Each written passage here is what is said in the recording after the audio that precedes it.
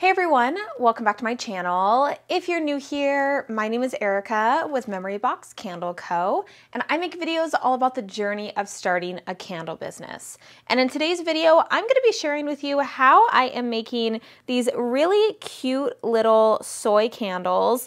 They look like a mini version of my six ounce 10 candles that I sell on my website. They are a screw off lid and they're just a teeny tiny little candle. And to me they are so much cuter than regular tea lights. Although tea lights are cute but I just really like that these have lids to them and they're like a baby mini candle. And I'm going to be giving these away in orders to kind of promote my fall collection within like the next week or so. So I am going to be making these candles and I thought that it would be fun if I showed you how I did it. So the first thing that I needed to do was figure out the fill weight of these little mini candle tins. Now these are actually one ounce tins, but that does not necessarily mean that it's gonna hold an ounce of wax. So I have my scale right here. I'm just going to put the little candle tin on there and then I'm going to tare it. I do everything in grams, but feel free to do it in ounces if you feel more comfortable with that. And I'm just going to go ahead and pour some water into here to kind of figure out how much wax I need. Now, there is a little bit of math involved in this. This is something that I actually um, more recently started doing. I know in my previous math videos, I did say that you have to use wax, and that technically is true if you are wanting to just use that number, but it is much easier as I have learned to just use water and then do a simple math equation to kind of figure it out. So what I did was just kind of pour some water in here and I found that getting it to that first little line right there was about 25 grams. So in order to figure out how much wax is going to be able to fit in there, we're just going to do a simple equation. All I'm going to be doing is just doing 25 grams times 86% and that gives me 21.5 grams of wax weight can fill in there, and then I'm just gonna round it up to 22 grams. And then just to give you an example, after I did that, I filled up one of these little tins just with the wax to see if it actually filled up to the level that I wanted it to, and it definitely did. All right, now there is some quick math involved. If you haven't already seen my candle math video, I will have it linked above so that this will make a little bit more sense. But essentially, if it's for one candle, it's 22 grams for the fill weight. I wanna do 10% fragrance oil. So my equation is gonna be 22 divided by 110%, and that equals 20 grams. All I'm gonna do is just subtract the fill weight by the wax weight to figure out the fragrance oil weight. So for each of these little candles, I'm gonna use two grams of fragrance oil with 20 grams of wax, and I wanna make 10 of them at the same time. So I'm gonna multiply those by 10. Super easy equation, just putting a zero at the end. So I'm going to be working with 20 grams of fragrance oil and then 200 grams of wax to make 10 of these little candles. Now I'm going to wick all of these 10s and I'm just gonna use one CDN size 2 wick. Um, I do realize that there are such things as wicks made for tea lights that are really, really short. Um, however, this is all I have for right now. And what I'm gonna be doing is just taking the extra clippings and then make more candle wicks out of it for the tea light size because I do have just these individual clips to be able to do that.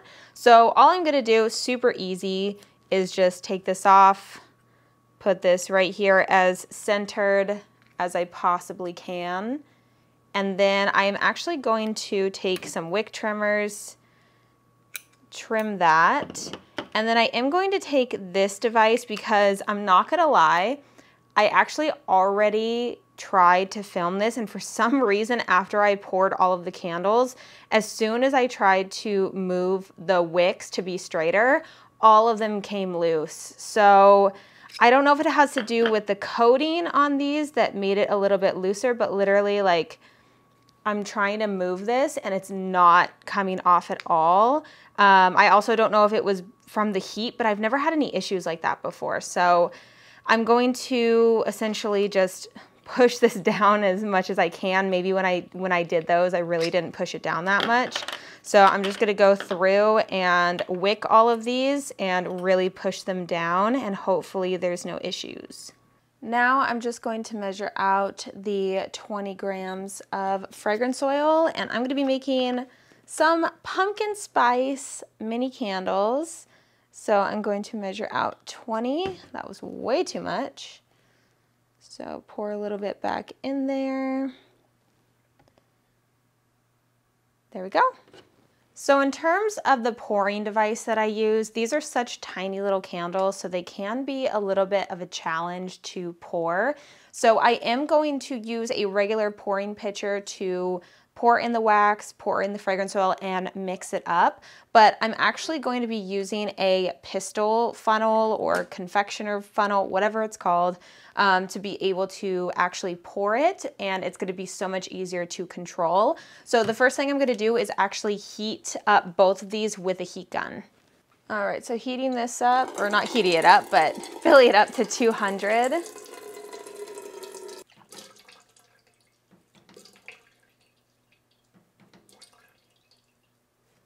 Go. Putting in the 20 grams of fragrance oil and then taking my little stir stick and stirring it up. Now I'm just gonna take this and pour it right into the funnel.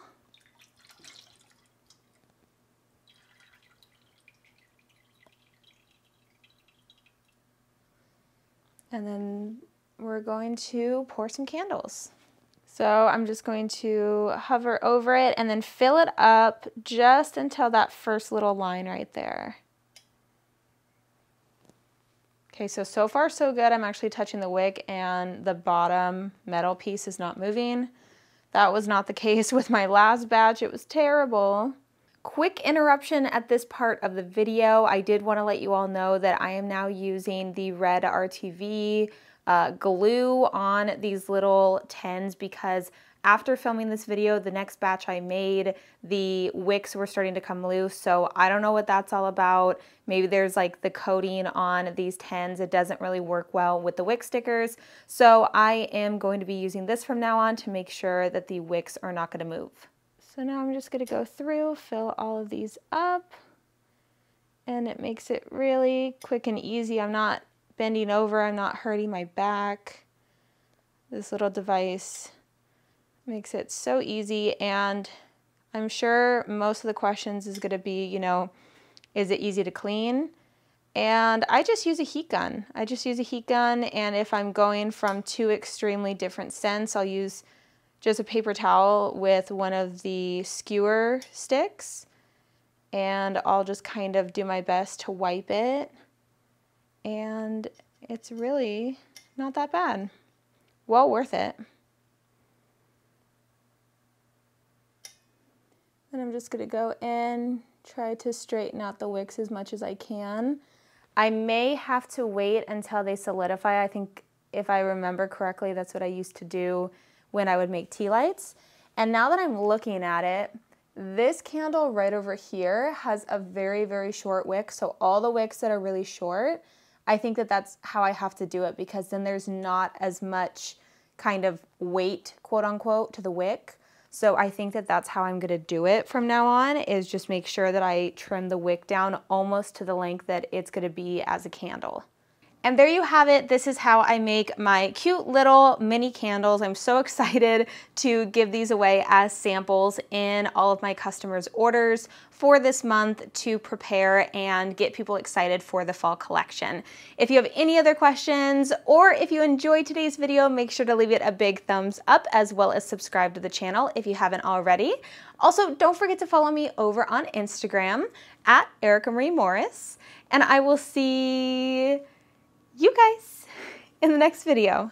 Bye guys.